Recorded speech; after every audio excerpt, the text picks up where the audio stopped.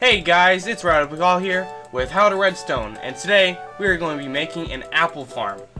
Now, Oliver Black, one of my viewers, has been requesting this tutorial for a long time, so I am going to get to it. Now, this is my apple farm. It is also a tree farm and a sapling farm. So, I'll show you how this thing works right after I finish cutting down these logs.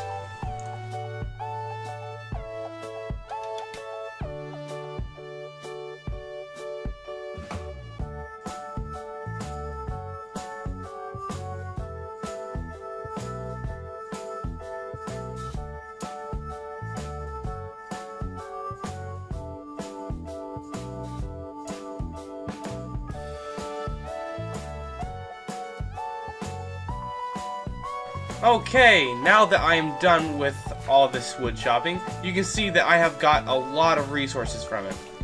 And you can already see stuff dropping. So what I need to do now is get into game mode one first. And then hit this button. Right there. And all the stuff will come crashing down here. There's a few things blocking the way. Get that real quick.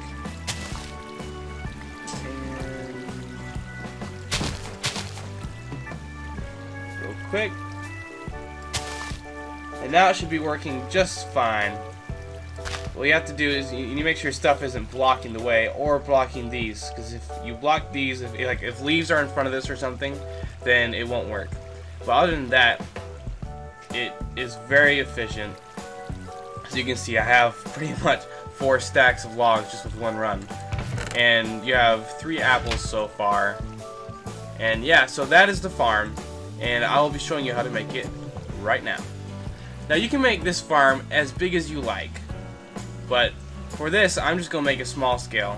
So what I'm going to do is I'm going to put a chest right here on a 13 by 12 area and then put some stairs right in front of it just like that actually I'm going to bring this chest up a little bit and then I am going to get some iron blocks and put them all the way around the edge.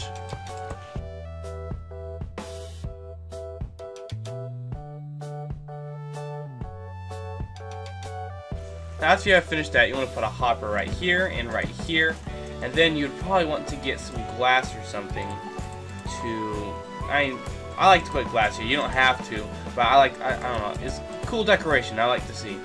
Then you'll put stairs here, and then you can put an extra stair right there if you want.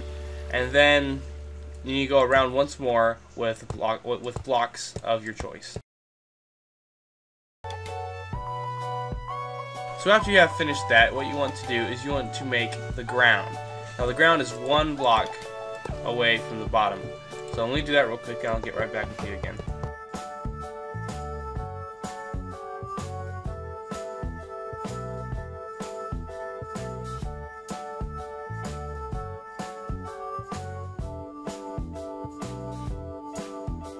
Now after you have finished with this pattern, what you need to do is you need to cover this part of the ground with blocks so that the water can get to the hopper. And then after you have finished that, you want to put some light down so that, oops, so that the trees can grow. So, uh, I like to put them right here. Oh man, that doesn't work. Then you have a block under it, right there, and then at the other end, just like that. So let me finish that real quick, and I'll come right back.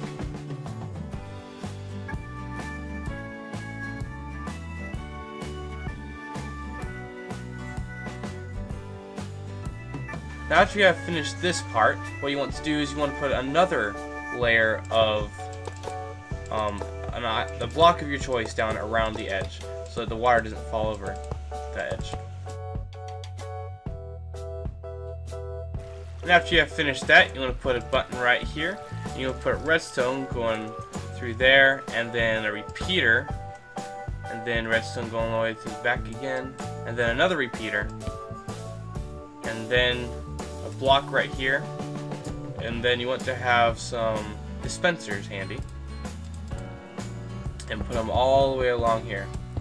Uh, there we go. And then block it, blocks of iron right there.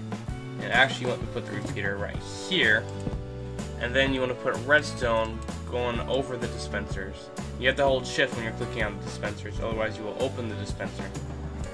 After you have finished that part, you need to get some water, and you need to fill these dispensers up, every single one of them, or this thing will not work.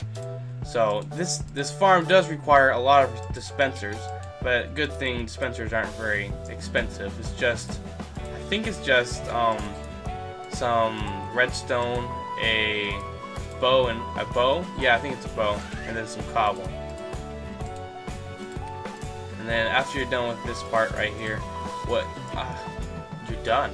Yeah, I think you're done. That is all that you have to do.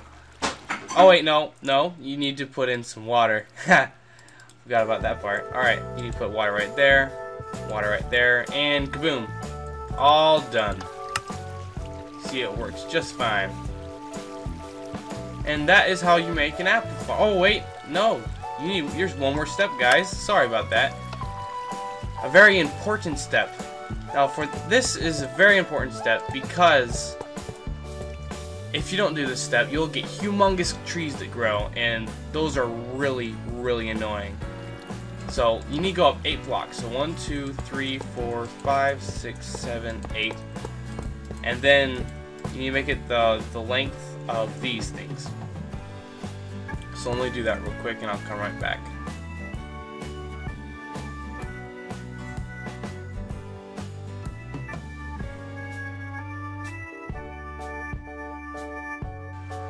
And there you have it. That is your very own personal apple farm.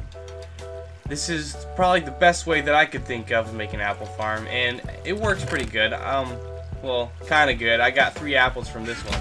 It's very good for saplings, of course, and wood. But yeah, that is my apple farm. Well, I hope you guys enjoyed this episode of How to Redstone. If you have any other ideas of tutorials that you would like to see, please put them in the comments below. If you enjoyed this episode, please leave a like, and if you loved it, please subscribe. I'll see you guys next time.